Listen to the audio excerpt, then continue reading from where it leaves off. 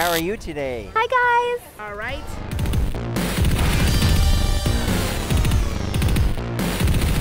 I get up in the morning. I just sort of flop into it and go, oh, are we doing this today? All right. And then they electrocute me and we get going. I mean, they're all just, you know, horrible monster people. You know, Bloaty is more horrible than, than the others.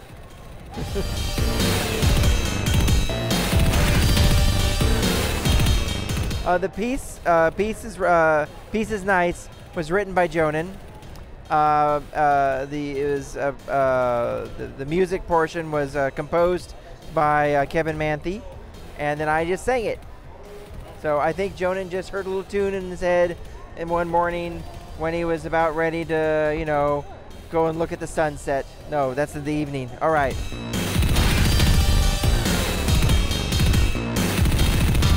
I, I can I can have it every once in a while. Yes, I, I, I don't mind it. As long as it's not too salty, though. You know, you don't want to have too much sodium in your diet.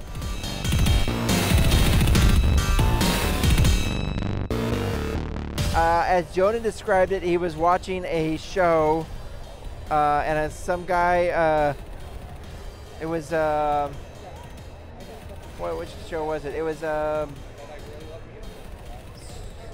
Straight Eye for the something.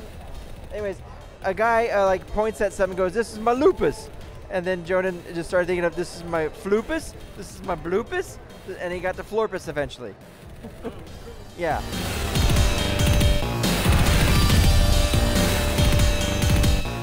You know, I don't, I don't know, but I was happy because I, I, I didn't write the show, but I was happy to see that Gaz was evolving. I mean, she's still Gaz. Don't you know? Don't get me wrong, but she was able to evolve. Like, there's a little more family dynamic that they're focusing on. I thought it was kind of cool. I, I, I liked that. I mean, I don't think it's it, I don't think it's that much of a softer edge, but there there was something more relatable with her and Dib.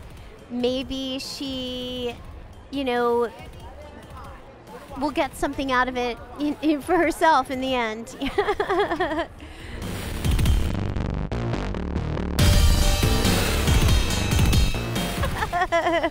well, I mean, there's a big connection with Gaz and pork, like, you know, Gaz, taster of pork and all that from the old episodes. So I think Jhonen brought back the ham brilliantly. I, I love the way he brought that ham in.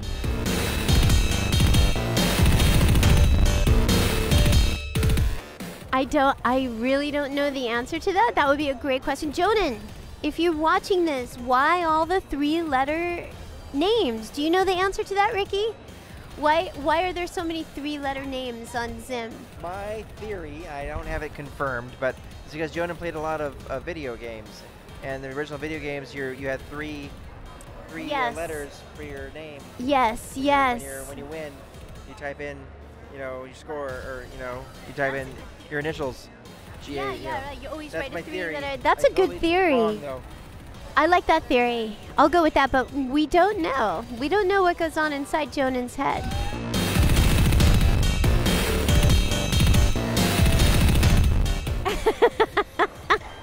How much pudding? Thousands and thousands of good pudding. Um, none. But but if I had my way, we'd have a little. Yes.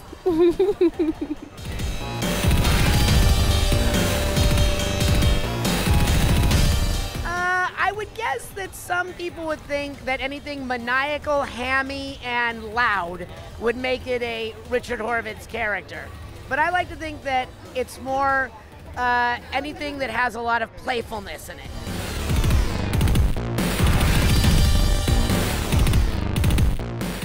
I don't know. It just kind of comes out. It kind of was like a mixture of like Jhonen's idea and my ideas combined.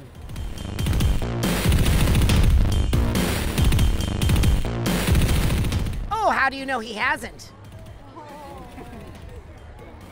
You won't know when it happens.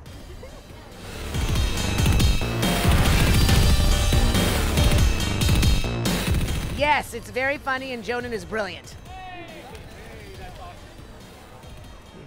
Thank you. Mm-hmm. Hey guys, I hope you enjoyed this Blood Moon Bobby video. Like and share the video if you enjoyed it, and feel free to leave a comment. Subscribe to my channel, and ring the bell to get notified when I release my latest videos. Follow me at Blood Moon Bobby on your favorite social media platforms to take part in polls, see my tech tips, and to hear about my video plans. Thanks for watching.